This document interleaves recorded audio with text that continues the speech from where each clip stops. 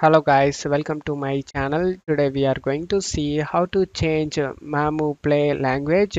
I show you guys how to do it. You just need to select the gear icon and it will be open up settings. In here you just need to scroll down to the bottom. Select this icon. Select the earth icon.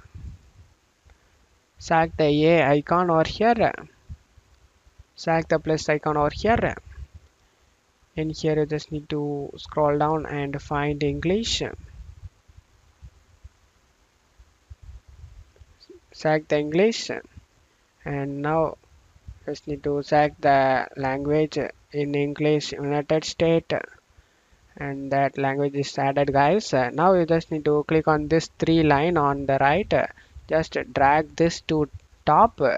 And after that click on this three dot icon on the top and select remove and select this Chinese language and select the trash icon and select OK and that language has been deleted guys.